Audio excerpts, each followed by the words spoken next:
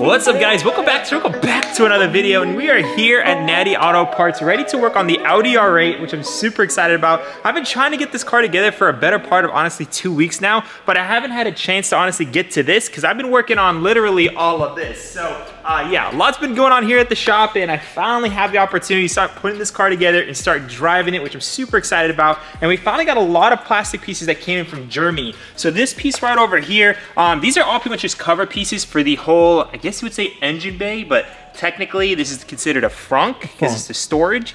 So yeah, these are all the plastics that go all the way around. This cost an absolute fortune, mainly because um, Audi didn't actually source me these parts. I had to buy them brand new from another person that bought them from Audi and then overpriced them because that's just how the world works. So anyways, now that we have all these plastics, gonna make the engine bay look a whole lot better. And now that we actually have all these plastics, I'm finally able to actually install my wiper blades. I haven't been able to install the wiper blades because if you install it before that, you're gonna have to uninstall it to install that. And then long story short, those are a pain to remove and put back on. You do not want to damage your windshield because there's a high risk of damaging your windshield with those. Now, other than that, we do have also a lot of other screws and little bracket pieces, um, little pieces like this that ended up ordering off eBay as well that the car was missing. And uh, we still have an emergency release we need to install. And obviously the best piece, which is right over here, our first modification for the Audi R8, which is a beautiful carbon fiber steering wheel. We got Alcantara on the sides, red stripe from, of course, none other than Aza Auto Wheel. So super excited to get that installed. Uh, we'll do that probably towards the end because I think if I install that first, I'm probably not even gonna do the rest of this stuff. So it's kind of an incentive to reward myself. Once I actually get all this stuff installed, we'll install that bad boy. Now this steering wheel did come off a car with paddle shifters, uh, mainly because getting a gated manual R8 is not that common, but I did find a fix for that. Uh, there's this guy, a small business that they actually sell paddle shift delete kits, and you basically put this in on the back of the wheel, like right over here, and uh, it just deletes it. It just deletes it. So we'll screw that in, it'll delete that, and that's gonna be super nice. I'm probably gonna end up wrapping this just because I don't like the way it's textured. I don't know if that's supposed to be like that, but uh, yeah, we'll figure out what we're gonna do with these to make it look cleaner. But again, we're not doing that right now. Without further ado, let's just go ahead, pop the frunk, and start installing all these bad boys to get this thing looking like a beauty again. Alrighty, so opening up this bad boy, um, I think the first thing we're gonna go ahead and do, actually, so if you guys see, we actually have the, the wheel guard on this side. We left it out on this side earlier, I believe this video, um, to actually give us access to the hood adjustments. So now that we actually have the hood adjusted, we need to put those back in. So let's get that in right now. Actually, I forgot, to, I don't even think I put in the footage of how we actually got here. So I'm gonna go and throw in some footage from me in the past right now. So just to give you guys some background, I actually got the car to the shop. So that means it did run and drive and thankfully it was pretty darn good. Before actually driving to the shop, I wanted to get all this nasty writing and all these stickers off of the car. Um, just so, you know, it doesn't feel like a salvage title. So the day has come, I'm gonna be taking the R8 for its first drive. I'm gonna try to take it down to smog, braking light, and just try to get this thing registered. But yes, this is technically the first drive. Actually, this is really the first drive. I mean, I drove it on a trailer and off a trailer, but that's pretty much it. So without further ado, let's hope to God this is a running and driving Audi R8. Let's just go ahead and head out and take this thing to braking light.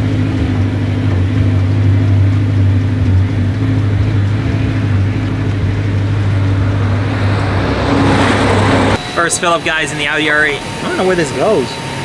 We are merging onto the freeway with the gated manual transmission. Guys, this thing is so smooth. I'm so happy when the, the, the accident happened, it didn't affect the suspension. It drives perfectly straight. Oh my God. So far, so good, guys. We put gas in it, full tank. We're heading over to braking light. I'll tell you guys more once we actually get there. Just very stressed out. First time driving it, expensive car. Woo! Sounds so good. And now that we're back in the present, yes, now I have to reinstall that wheel guard because, uh, yeah, we got the fresh alignment. Shout out to Fonzie and his boys. I believe Roman, Fonzie are the ones that helped me get this stuff situated. Um, so shout out to them. Without further ado, let's go and jack up the R8, take off this wheel, put in that wheel guard before we actually start assembling the rest of the stuff.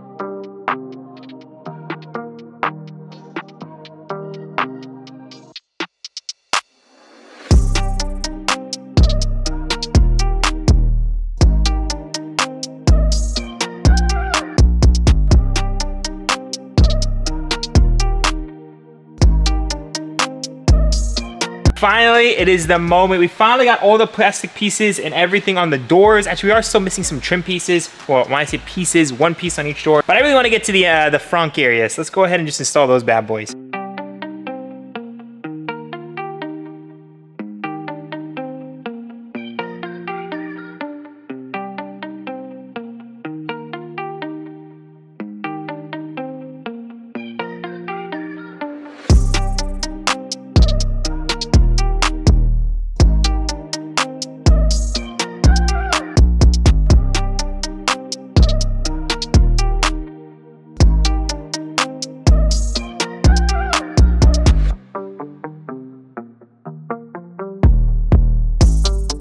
And guys, after hours of working on the R8, check this out.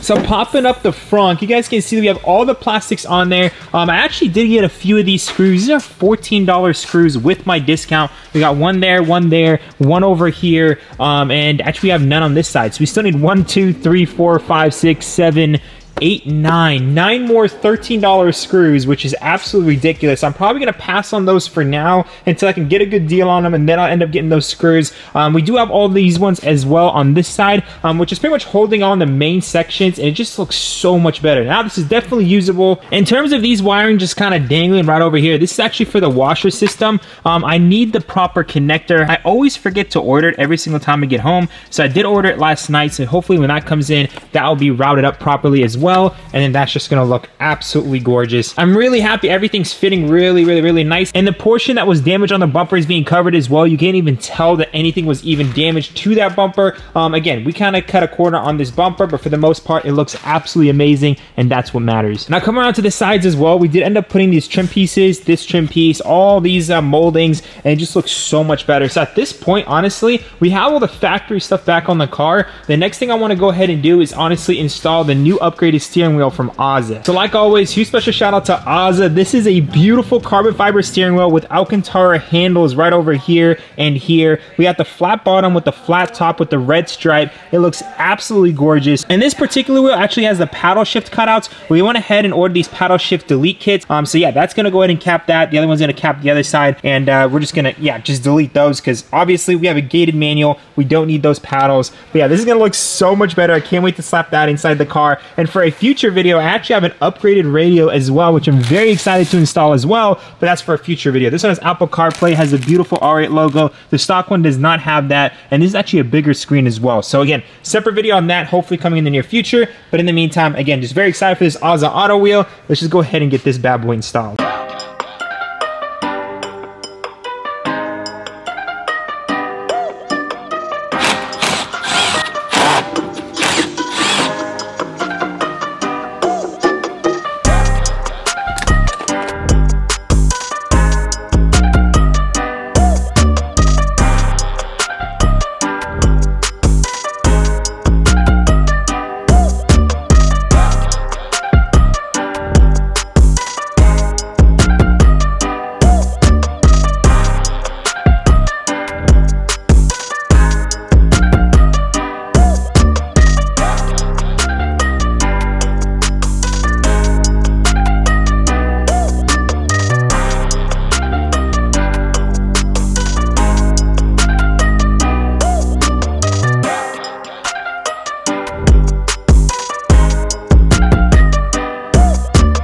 And just like that, I don't know if you guys saw that steering wheel. That looks so, so, so good in the interior. Those paddle shift delete kits that I ordered from some some person, I guess he 3D printed or something, just just literally disintegrated as I was trying to install it. It was absolutely garbage. I'm not even gonna refer to it. Actually, there was a reason why I didn't even mention the company prior to this video because I was like, if it works out, I'll go ahead and shout them out. But just the quality looked so cheap and I was like, it's probably not gonna work. And I tried it and it didn't work. And I think it was like $80 for that. So that was a huge rip. I'll probably have one of my friends 3D print me one and just slap it on there in the meantime. Uh, but yeah, not a big deal. Super happy how the steering wheel came out though for the most part. I'm hoping I got it lined up right. I didn't know with Audis, there's no actual center mark on the steering wheel. So you can literally put it in any orientation. So I pretty much put it exactly where I wanted it, removed the steering wheel, put on another one. Um, but there's like 200 teeth on there. So I may have been a little bit off. May need an alignment now. But long story short, steering wheel looks great. Super stoked about that. You guys can see it from this angle as well with the red stripe, the carbon fiber. We have the carbon fiber interior package, the carbon fiber engine bay and they just look so, so, so good. Now that we got pretty much that stuff sorted, I'm gonna go ahead and jump into the next video. I really wanna break this up into two separate videos, mainly because the navigation is gonna take some time to get installed. There's a lot of things that need to be done to make sure that that thing's installed properly, especially considering that I actually want the backup camera to work with it as well. So again, an entire video in itself, but uh, for this video, very happy. We got the whole front end back together, looking absolutely beautiful,